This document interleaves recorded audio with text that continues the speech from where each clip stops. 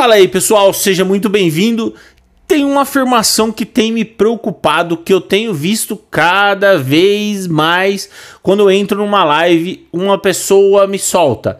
Ah, o meu item deveria ser entregue dia tal de dezembro.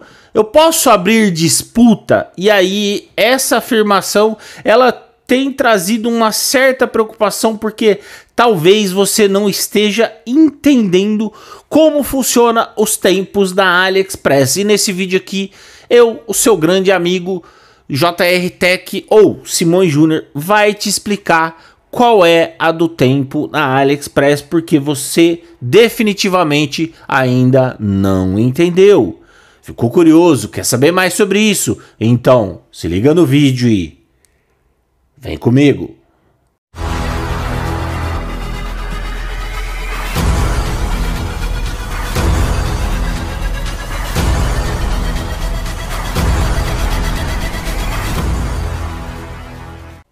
Cara amigo, seja muito bem-vindo. Convido você a participar com a gente. Já se inscreve aí, dá essa moral pra gente, ajuda a gente a chegar a 100 mil inscritos. Falta o quê? 77 mil inscritos só. Ajuda a gente a bater.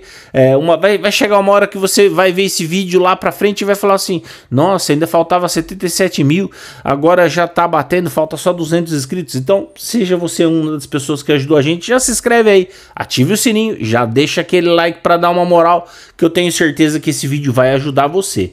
Vamos lá, vamos tentar entender o tempo na AliExpress. Você foi lá, fez a sua compra e aí na sua compra tem um prazo. Você olhou lá e aí lá tá escrito assim: você receberá este pedido dia 17 de dezembro, dia 12 de dezembro. E aí uma série de pessoas me procurou na live, me mandou e-mail, e aí a pergunta foi: "Ah, o meu prazo acaba dia 12, meu prazo acaba dia 17, vou abrir disputa". E aí eu perguntei por e-mail, chequei essa informação e aí eu percebi que em alguns casos realmente acaba, mas na grande maioria as pessoas não entenderam o que está acontecendo aqui. É, o que, que acontece? A AliExpress ela pega uma estimativa do prazo para te passar.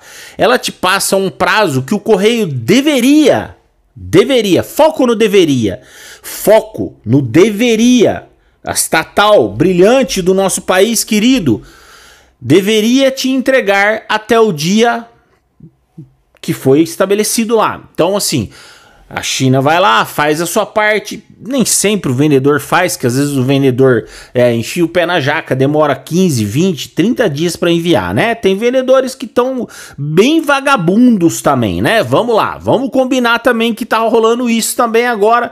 Infelizmente tá bem difícil essa história de lockdown na China também hum, tá atrapalhando um pouco. E tem vendedor que tá aproveitando, tá dando uma morgada que isso aí também, tá usando de muleta isso aí. Mas a grande maioria não tá. E a gente tá tendo sim, a grande maioria envios em 3, 5, 7 dias. E aí é enviado para você em 10, 12 dias. Tá aqui no Brasil já. 12 dias. O certo era em 3, 4, como era antigamente. Mas tudo bem, é, eles já estão colocando isso na estimativa, uma espera aí de uns 15 dias. E aí, mesmo assim, você tá vendo um prazo lá, tipo assim, você vai receber até 12 de dezembro.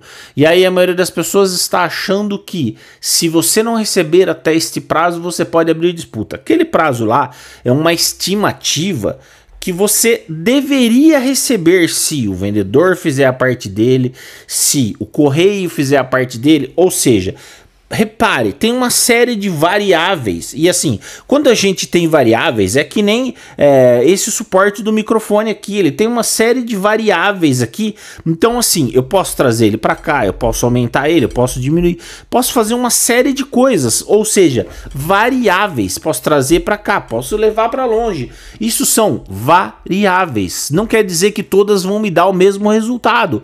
Então, quando a AliExpress te dá uma estimativa de que você vai receber até o dia 12, dia 17, ela está dizendo para você: olha, você vai receber mais ou menos até esse dia aqui, se tudo der certinho, beleza? Isso depende de você fazer a sua parte também, colocar o CPF, assim que chega na triagem internacional lá, fazer a sua parte. Às vezes tem gente que fica sentadinha na informação, espera, por exemplo, ah, eu vou esperar chegar em Curitiba para colocar o CPF e o negócio atrasa.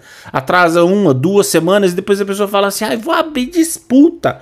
E assim, isso não dá direito à disputa. Você só vai queimar um cartucho que lá na frente pode ser que você precise dele. Então, assim, bom entendimento. O prazo que você tem direito, normalmente lá na Express, é 75 dias. Só que assim, aqui vai mais um adendo para você. É, aos disputadores de plantão, porque eu sei que tem. Tem gente que acha assim, ó, a AliExpress ela tem uma proteção de 75 dias, e aí deu 75 dias, é direito meu pedir o, di o dinheiro. É, é direito seu. É, só que assim, é, Lembre-se, do outro lado está tendo um lockdown, então eles estão passando por dificuldade também.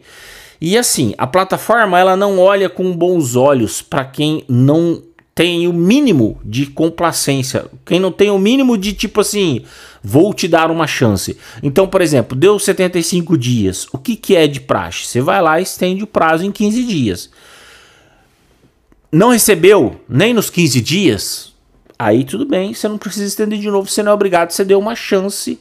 Aí são 90 dias. Então, dá, você vai lá e abre a disputa e tipo, se não tiver perto da sua casa, né? Porque não adianta, tipo, às vezes você, por exemplo, é de São Paulo, ele já tá no caminho, já passou de Curitiba, já tá no caminho, a pessoa quer abrir disputa. Não tem como.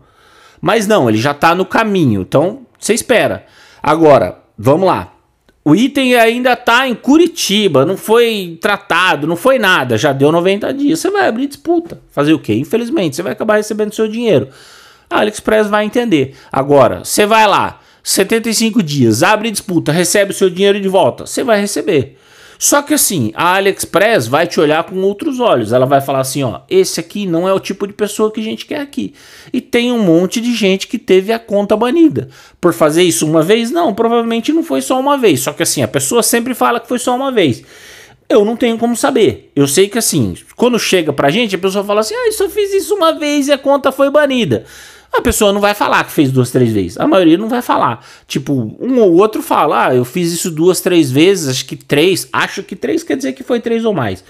Aí fiz isso duas, três vezes e aí minha conta foi banida, mas achei injusto. E aí agora vai comprar lá na Deal Extreme, na Banggood. Então, tipo assim, é, a gente não morde a mão que alimenta a gente. Se você faz compras, depende dessa plataforma. Se você acha que ela é útil, de vez em quando você dá uma moral para ela, dá uma ajudada nela. Senão vai chegar uma hora que ela também vai virar as costas para você. E aí você vai ter que procurar uma outra opção. E acho difícil você encontrar alguma coisa com este mesmo Então, assim, é, às vezes a gente faz de conta que não enxerga todos os defeitos, apesar deles existirem, beleza? Se não é inscrito, já sabe, se inscreve, ativa o sininho. Eu sou o Simão Júnior. Um abraço a todos, fique com Deus e vem comigo.